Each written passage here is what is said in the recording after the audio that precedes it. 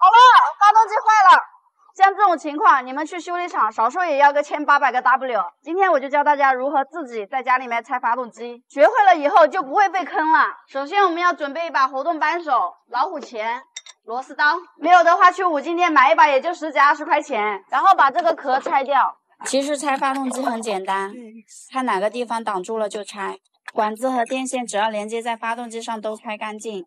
在拆发电机和马达之前，要先把电瓶桩头拆掉。不然很容易短路起火。然后用活动扳手把发电机螺丝拆掉。这个是汽油管，拔掉之后会漏一点点汽油，要小心。然后把发动机总插头拔掉，上面已经拆完了。现在需要把车顶起来，因为很多人家里面没有举升机，买一个的话又太贵。我建议大家找一个空地，挖一个地坑就可以了。用活动扳手把传动轴拆掉。用活动扳手把排气管拆掉，然后把车放下来。好。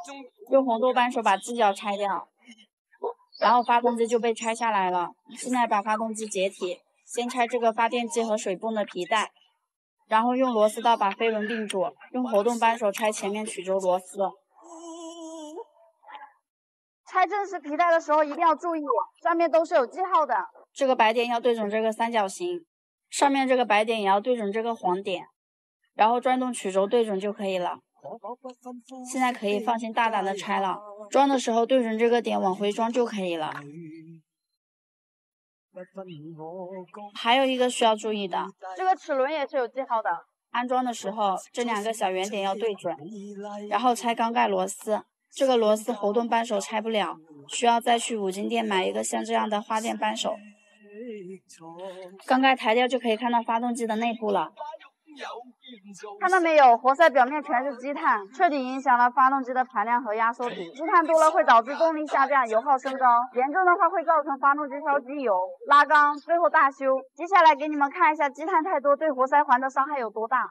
我师傅说，在很久以前没有燃油宝的时候，清理积碳都是必须要拆发动机。只有把积碳去除掉，发动机的动力和油耗才会恢复到新车时的巅峰状态。最近我看到有人在用活动扳手教大家如何换刹车片，我今天也想用活动扳手教大家拆发动机。眼看就要拆完了，我也实在是演不下去了。其实我很多地方都是先用套筒松掉，再用活动扳手夹拧螺丝。事实证明，用活动扳手修车还是不靠谱，所以有很多东西还是需要去修理厂修，这样才有安全保障。包括我也拍过教别人修车的视频，这些视频对修理工和学徒来说多多少少也可以学到点技术，但是不建议车主去模仿，看看就行了。现在把四个活塞捅出来，看看活塞环，一个、两个、三个、四个，然后把活塞洗干净，看到了吗？活塞上面都是积碳，第三道活塞环里面全是。活塞环是需要弹性的。这个就是积碳太多，导致活塞环卡住了，没有弹性。这样活塞在往下的时候，气缸里面的机油就刮不干净，所以就会出现烧机油。不过大家不用担心，这种情况换一副活塞环就好了。在网上买一副就几十块钱，大家千万不要去修理厂，要不然没有千八百个 W 真的修不好。拉，用力拉！快看快看，这个就是流动修车。你们感觉他一个月能赚多少钱？我去替你们问一下师傅。师傅，你这个车修什么呀？修离合器坏掉了，离合器。对，你们都是修这种大车的吗？是的，是的，我们主要修大车。那像你们这样一个月能赚多少钱啊？对，一个月有一万多块钱吧，一天能可以换两三个。你平时都是一个人干活吗？还有没有帮手啊？有，我还有个徒弟，徒弟一个月一个月的工资一千八。那师傅，等你干完活，我我们把这个西瓜吃了，好吧？你们换一个这样的离合器片多少钱？多少钱？你你说手工费还是什么？就是手工费，四百多，才四百多啊？那要修多少时间呢？两三个小时吧。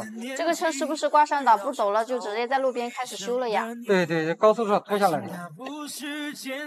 完了，师傅的一轴拔不出来了。现在要把压盘的螺丝全部松掉，才能把一轴拿出来。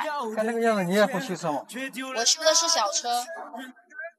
好了，终于拔出来了，这个薄擦好大呀！我看你穿的那么干净，你真的会修车吗？我就是今天穿的比较干净。把这个装好，先休息一下。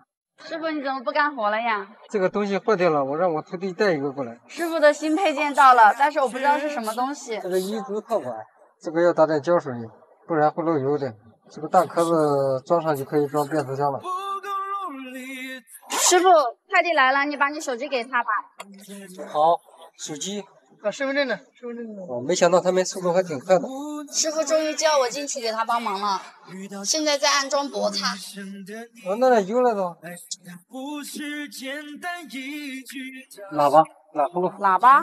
喇喇呼噜。哎，喇喇。拉。用力拉。好了，快了。哎，让那架子往下推，我碰了手。好好。原来这种大型的变速箱是这样装的。车主一直在看我们给他修车呢。变速箱固定好了，这个大铁架用不了了。最后一步，气管接上。这个大车修好了，师傅拜拜。终于干完了，来吃个西瓜吧。好，谢谢你的西瓜。师傅，以后你要是忙不过来的话，可以叫我过来给你帮忙。那那工资呢？工资嘛，你赚的钱分我一半就可以了。等一会儿，等一会儿。